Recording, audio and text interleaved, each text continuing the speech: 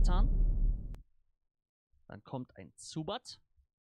Dunkles Slimog. Hera Herausforderung. Herausforderung.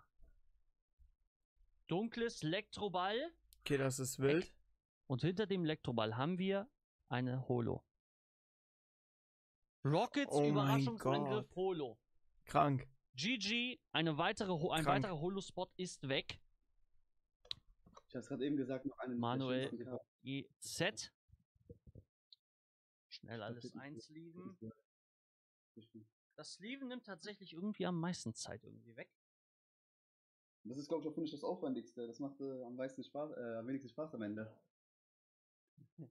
Also wenn man so ganz viele Karten aufmacht und was lief, das ist.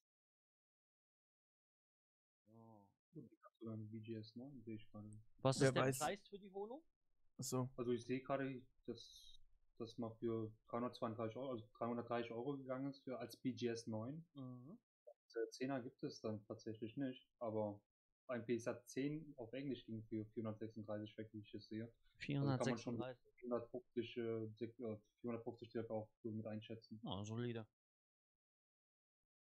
Rein in den Toploader und rein äh, zweite das noch. Bauster. BGS 10 ist ja noch selten. Es Genau, kann aber mehr äh, sein. BGS 9,5 kann man immer beim PSA 10 äh, gleichsetzen. Das stimmt. BGS 10 ist dann schon wirklich nochmal ein bisschen besser als PSA 10. Dennoch ist es so, dass PSA 10 Karten ein bisschen teurer meistens sind, weil einfach ähm, PSA So. einfach Marke ist. Kennen es und deswegen wollen wir lieber eine PSA-Karte.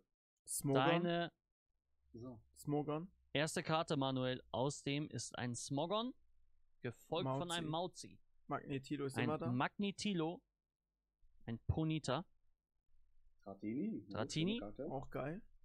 ein Traumato. Uh, Dickter darf bei meinem Homie nicht fehlen. Geil. Dickter auch dir Mal gezogen, wieder. Manuel. Gefolgt von einem Duflor.